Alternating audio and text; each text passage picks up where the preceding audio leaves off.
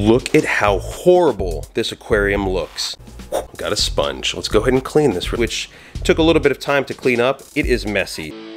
A1A Adventures fam, A1A aquatic enthusiast, outdoor adventurist, as well as aquarium hobbyist, welcome back. To all of the pet fans and animal fans and loyalty to this channel, we thank you so much for always staying consistent and watching our new videos, hitting that notification bell, liking our videos, and commenting. Those are major important factors in keeping the algorithm alive and keeping A1A Adventures going, and we're never going to stop. So today's video, we're going to go ahead and update you on our fish tanks and how we keep most of our fish tanks healthy healthy, clean, and spotless, and what we do and some of the techniques, how to do it yourself. Keep your fish tanks clean and your aquarium animals happy.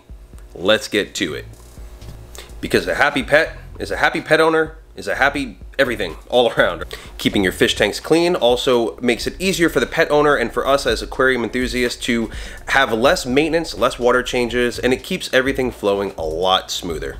And it doesn't matter whether you have a freshwater fish tank or a saltwater aquarium. It does not matter whatsoever. Same rules of maintenance applying it to and keeping it immaculate as much as we try to pursue perfection. Water parameters and the whole entire clean look for awesome aesthetics when we want to look at our fish, as well as the gratifying journey thereof. On that note, let's get to some fish tanks. And we'll start off with this one, one of my favorite saltwater aquarium tanks we have, containing a night sergeant fish, a goby and a blenny, as well as some urchins that we have moved from some of our other fish tanks in order to give it space, as urchins are an awesome... Where's Benny? There's Blen There's Benny the Blenny. Benny, what's going on? There's Jenny. There is Benny. And our unnamed fish, which once again, you can go ahead and comment any name suggestions below, and if we like the name, we'll choose it and we'll drop your comment in our future video. So we do have urchins several urchins. We have two black spiny urchins as well as a pencil urchin in here, which we have moved from some of our other tanks in order... Ooh, they're very feisty. They're very hungry right now, but look at that belly. That belly right there is always well fed. She is aggressive when it comes to eating. So it definitely takes away from the other fish if it's a crazy fish feeding frenzy, which we do from time to time on this channel.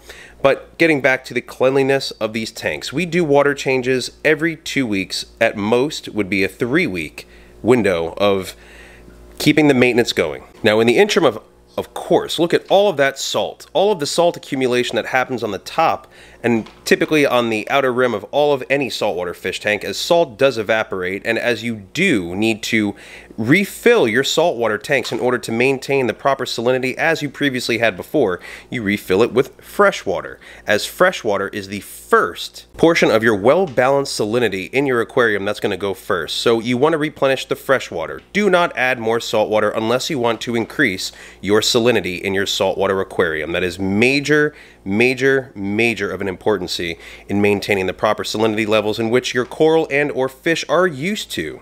And yes, if you are thinking about getting into the saltwater aquarium hobby, here is your fair warning. It is messy. So this is just a sponge. We're going to go ahead and scrape off some of this salt. You ready?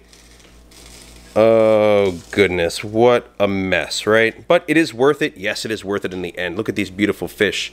And not to mention, in order to keep it, this isn't required. This is just an aesthetic. Ooh, this is just an aesthetic maintenance portion of having in any aquarium actually is you're going to have to, that's all the salt that we just wiped off, clean off most of the algae that forms here on the side. That little bit of algae is actually on the sidewall, so we're going to go ahead and scrape that off. But these are just little maintenance personal pet peeves if you want to keep a good aesthetic clean view for your fish as opposed to the rocks and all of the sand and the algae that accumulates around those areas and those parts of the aquarium aren't as necessary to clean off because you do want to maintain and keep a good bacteria level and good algae natural level in your aquarium just to maintain the proper parameters and to not take away too much from the natural balance that it has accumulated over time, which to balance an aquarium with all of the good nitrates, nitrites, everything else, and all the water parameters that are required does take a significant amount of time to achieve that balance. So nothing happens overnight, but with maintaining a saltwater aquarium, these minute steps are absolutely imperative. And of course, it also depends on your lighting, as this is a BioCube by Coralife 32 gallon Uh, I believe it's a 32 gallon. Yes, 32. And now with these good lights, these are designed as actinic bulbs and they're LED to basically grow coral. So it does have UV, which is ultraviolet properties that are delivered per the design of these bulbs that will enhance algae growth naturally on the rocks. So every other month I do diligently go through and put effort into scraping the rocks, keeping them clean, which once again isn't required depending on your light cycles that you have in your tank throughout the day. Always keep in mind that an excessive algae breakout is not good as algae thrives off of oxygen in the water as well as light, so it will starve the tank from having a proper oxygen level if algae is left in extreme excess. And you put the effort in, trust me, you won't have algae problems. Just maintain your tank and keep an eye on it at least every week to two weeks in order to keep any bad algae out to keep your fat fish healthy. And we can go ahead and look at the next tank. That would be the coral tank, our mini coral reef tank, as you've seen in many other of our other videos. And if you haven't, go ahead and check them out because it is a sight to see. Let's cut the lights, you can see it a little better. And this is the most newest update. It looks galactic with all those stars, right? It looks like those are stars in a galaxy back there. However, those are not stars. Those are tiny baby little feather duster worms developing everywhere. Whenever we got the most recent coral frag, which would be one of those in the middle there, it was infested with little baby feather duster worms all on the bottom of it. I didn't pay any attention to it, nor did I really care or think if it was a concern because it's not. They are actually good filter feeders in a saltwater aquarium tank. So those little tiny, which looked harmless, which they are harmless, feather duster worm particles, they decided to breed and colonize and create a huge infestation all over the rocks, which took a little bit of time to clean up. And now keep in mind this compared to some of our other recent posts when I showed this coral tank at its worst in a high algae concentration and infestation of the algae. This has been maintained very harsh. Recently, in the past week, I did a huge scrub. I took all of the coral frags out. I took all of the rocks out. I cleaned off everything. So some of the coral's a little bit, you know, still not retracted, just not fully back out because I did readjust the lights too.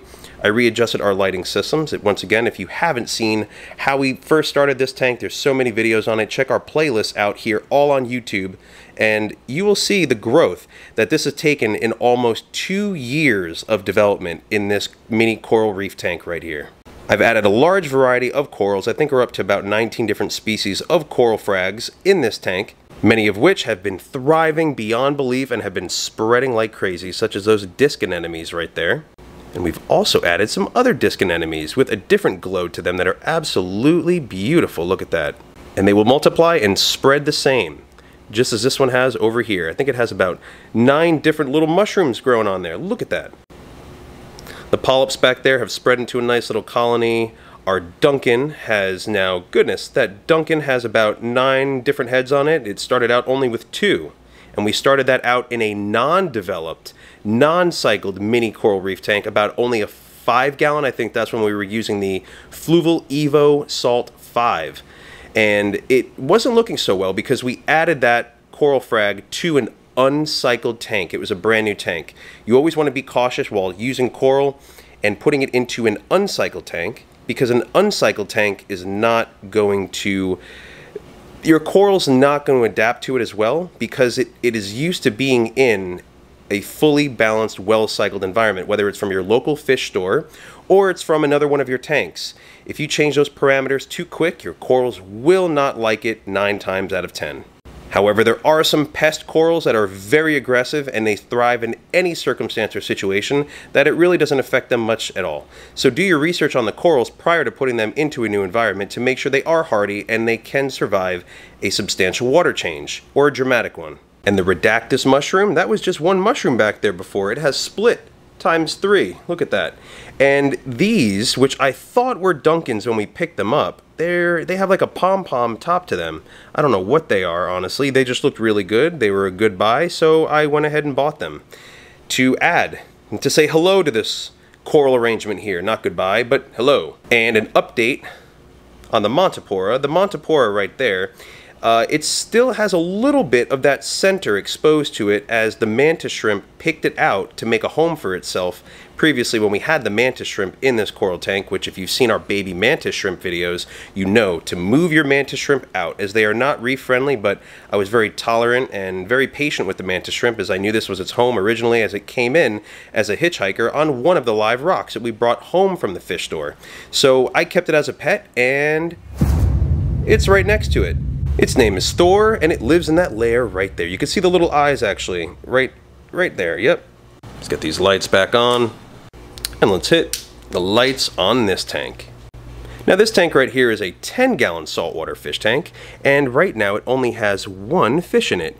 If you've seen our anemone journey, once again with an uncycled tank, that anemone had an amazing journey, a very interesting one, as well as another clownfish that is no longer here. We are down to one clown.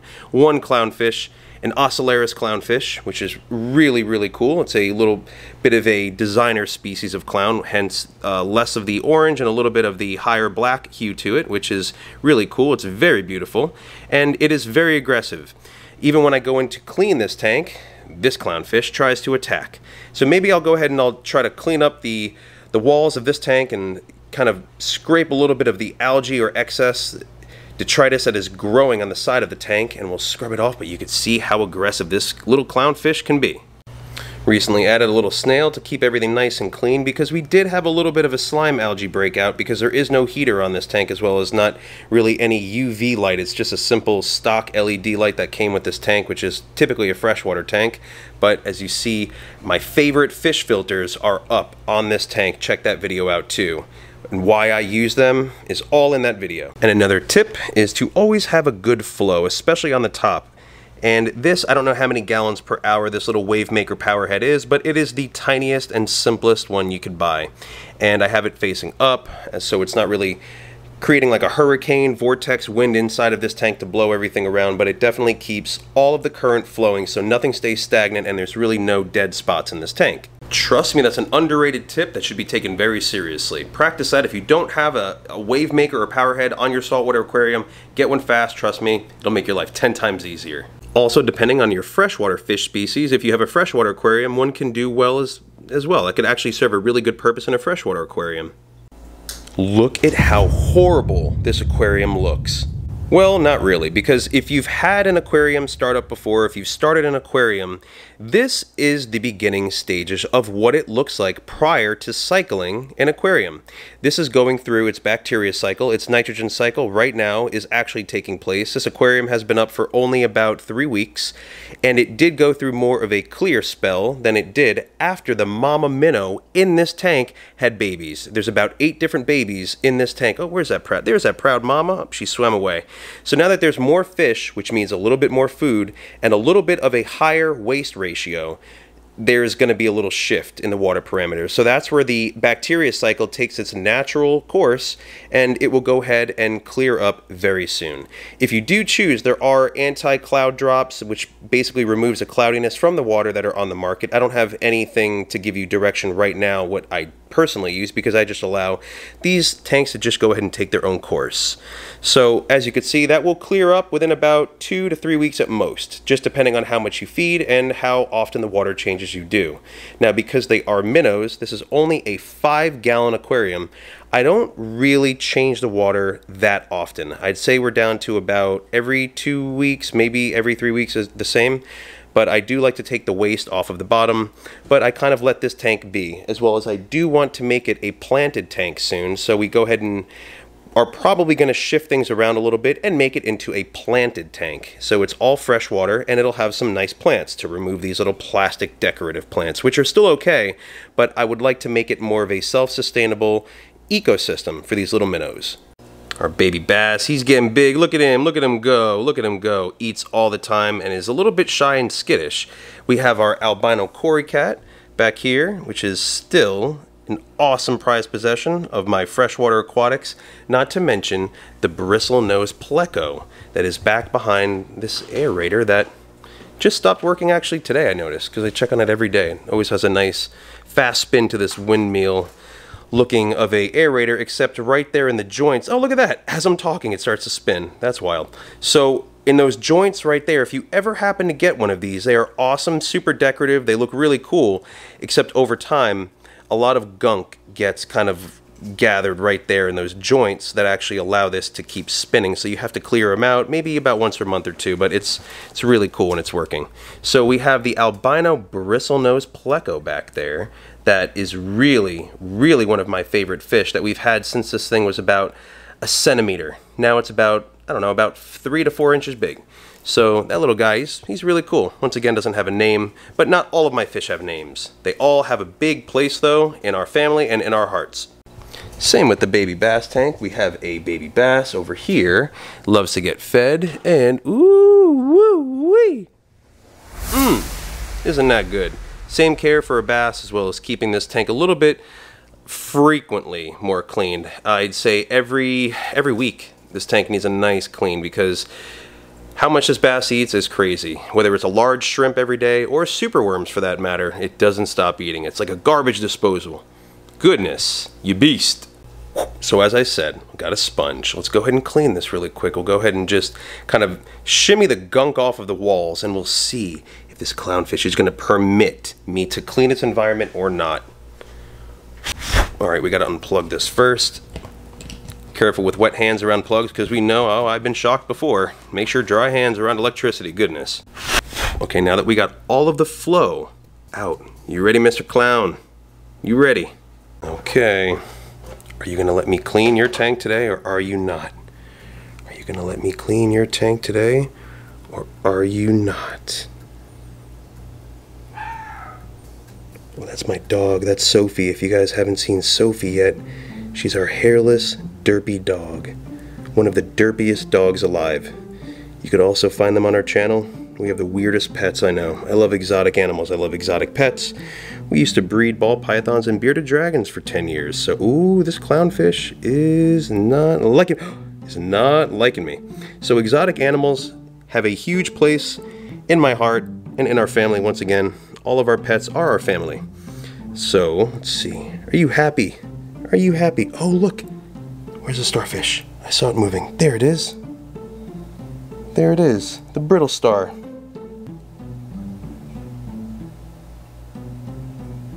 Okay, so Brittle Star just wanted to come out and say hey real quick. But the clownfish is actually permitting this a lot more than I thought. Normally it attacks my hand. It attacks it like crazy. But it's kind of, I guess, just chilling and a little bit on the relaxed and melancholy state right now. And it's really not going to do what I thought we were what I thought it was going to do. Take my finger off, right? Which is a good thing. Because the mantis shrimp can do that instead, right? So beautiful. As you can see in the back, I see another one of the starfish. Oh, oh, oh, there it went, right under the rock right there. We have several of them. It's going to come out on the other side? Of course it will. Awesome. We have several of them in here, and they love to eat shrimp. They love, they're very carnivorous. They love to eat sinking shrimp pellets, as well as the same diet that this clownfish eats as well. So whether it's raw shrimp to shrimp pellets, anything carnivorous, they absolutely love. Very easy to care for, and they are a great cleanup crew. And yes, starfish are faster than you could even imagine sometimes, especially when they think they're getting fed. Because when we cut the flow, as we typically do, right when we feed, they know it. These animals are so smart. And highly instinctful, for that matter. Hello. Are you saying hi? Are you saying hello to all of the A1A fam? All of your fans? All of the aquatic and pet animal friendly people and all of our followers, they love you. They love you. Look at these two little stars. Look at these two little stars. Let's get to our other two little stars before we end this video. Go ahead and wave goodbye. Bye. Or hello, for that matter. Yep, the derpiest dog alive right here. Now, I always include Leo, aka Leonidas, in every single one of our videos because he is absolutely so popular and so loved by so many of our fans, we always have to show face, right, Leo? Leo just woke up from a nap, and yes, that is a tongue. Leo has one of the longest tongues, the derpiest dog alive right here. And on that note, we are going to sign out and say goodbye to all of our A1A fam, just for this video. That's it, until the next adventure. Make sure you look up all of the videos, including this one Leo. It's so weird. I know, it's a weird animal. But they love you. Oh my goodness, and there's the other one. There's the other one. This is Sophie. This is Sophie. Sophie, Sophie. Goodness. Ooh, she just woke Leo up. He did not like that. Oh, you're up now. So to all of our A1A Adventure family and friends and followers alike, Thank you for watching this video. Please make sure to subscribe to this channel if you haven't already. Like this video, comment whatever you'd like. We get back to all the comments. A1A fam, we love you. Until the next adventure, stay adventurous. A1A Adventures. Also on that note, if you suggest anything in the comments about what we should do in our future videos or what you want to see more of, go ahead and drop it below. We love the suggestions. Um, we have so many different adventures from uh, outdoor fishing to all of our aquatics, from our dogs to more how-tos, more DIYs. What would you like to see? More instructionals of whatever bringing our dog to different places, go ahead and comment them below. Give us more content, more ideas, what you would like to see. Because remember, we do this channel for you. We're signing out. A1A Adventures.